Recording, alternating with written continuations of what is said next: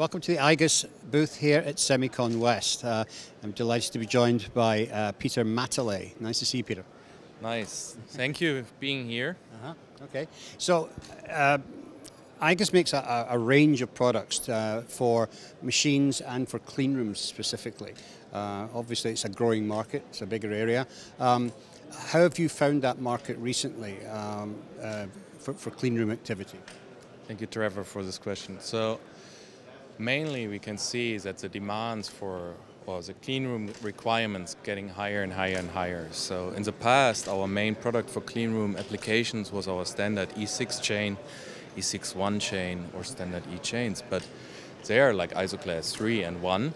And even that is for some of the customers not enough. They want to have fully enclosed systems or systems for ESD environments. I mean, obviously, this has been mostly for for, uh, for operating in, in, clean rooms and, and in the back end packaging side.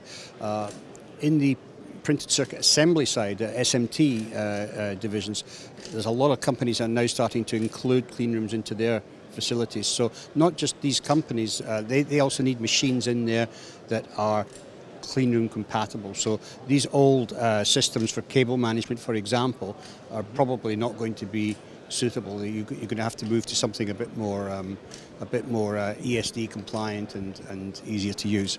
Yeah, correct, correct, correct. So I would say the old but gold chain, over 15 years old and in use, mm-hmm. is still good. Yeah. But as the requirements getting higher and higher, our customers ask us, okay, what can you do? What can you offer? So, and what we do now was a lot of years of experience, over 50 years of experience also in bearing materials for sliding application, tribopolymers. We combine the knowledge of the E-chains and the knowledge of our Drytec and Drylin material research. So we use here our Iglidur J material to reduce the abrasion of crossbars and the cables inside of the chain up to 80% to standard materials in combination with electrical um, or ESD material, mm-hmm. so which is electrical conductive. So, and that's a very, very good solution for our PCB or SMT makers. So, there's a so obviously, there's a, there's a range of um, cable management systems in, in inside the um, clean rooms. Uh, you've got a variety of other uh, cable management devices here that you could demonstrate to us. Uh, why don't you take us through a few? Yeah, sure. So this was our C6 for SMT, for example, applications. Or what I want to show you now, I will just clean up a little bit. A very, very cool application or very, very cool solution for ISO class 1 mm-hmm. is our fully enclosed system.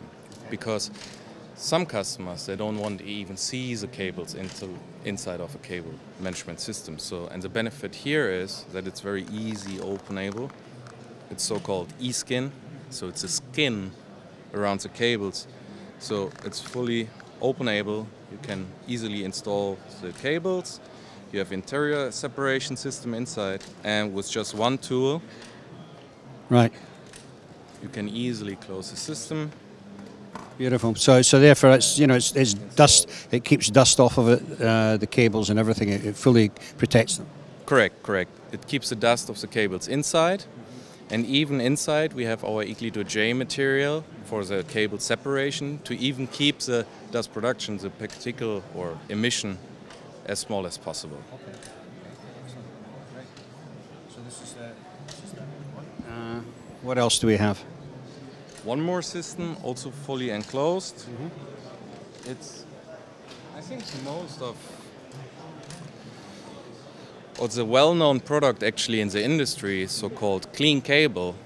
But in the past, it was made out, or it was a flat ribbon cable, which means was mostly made out of EPTFE.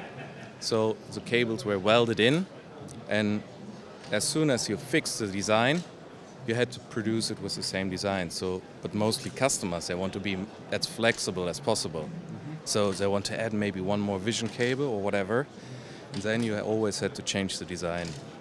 Okay, so how do we do that?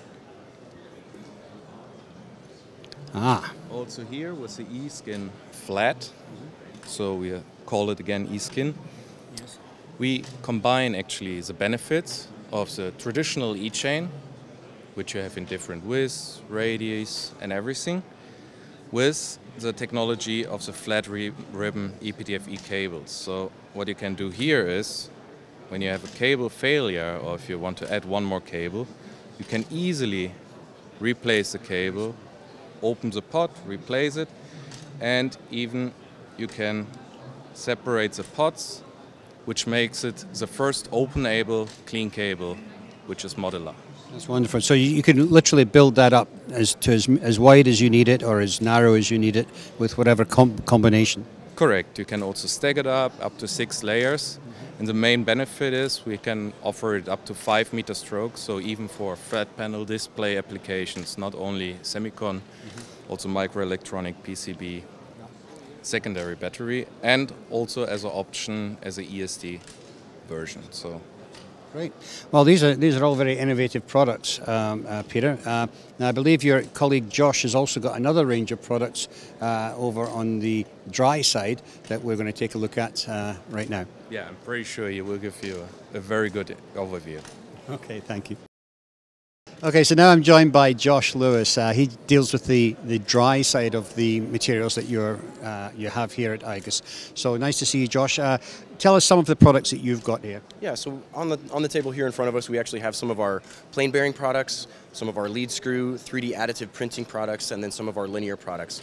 All of them are based off of a, uh, a dry running polymer, so they're all made with a, a self-lubricating property, with a strengthening fiber, and then with a thermoplastic, and that's why we call them tribopolymers. Mm-hmm. Um, so each, each different material um, is optimized for gliding on a metal rail, or even we can now run on wood products or other plastic shafting as well. Um, and so then we take those components and we combine them into some of our linear system systems that can be uh, used with a, as you can see inside of here, like the plastic liner, mm-hmm. and then a metal rail that the carriage slides on. Um, and then we can also add even a drive system to that, whether it be a belt drive or a lead screw can drive that carriage back and forth. Okay, I see, I see. And you can you can customize these lead screws and different things uh, uh, to, to have different properties. Yeah, so we have uh, we have different configurators uh, both for lifetime and product selection, but then also once you've uh, selected a different product, you can actually go ahead and make some maybe custom journaling, say on like this lead screw or a piece of shafting, so that it can be more uh, more complete solution when it arrives at your facility.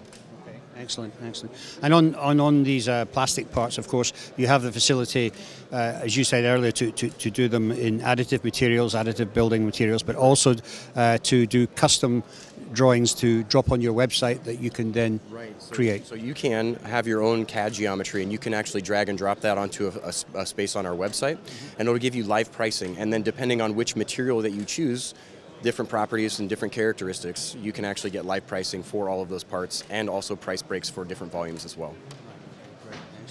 So tell us a bit about the facility. I mean, you're, you're, you've got the largest polymer bearing test lab in the world, I believe. Yes, exactly. So we do uh, about 15 to 20,000 tests in our, in our lab every year, and we take all of that data and we make it available for the different configurators and different tools that we have on our website. So you can take your application parameters, fill out all the information that you can, and then it'll make a recommendation either for the product or actually give you a lifetime based on your application parameters. Well, you've certainly got a huge variety of different products here. We certainly don't have time to go through all of them today, but uh, you can certainly catch up on more of these things if you're interested in this, these materials uh, on IGUS's website, which is IGUS.com, and we also have now uh, a low-cost robotics platform called RBTX.com as well. Excellent. Okay, Josh, thank you very much for joining us today. Yep.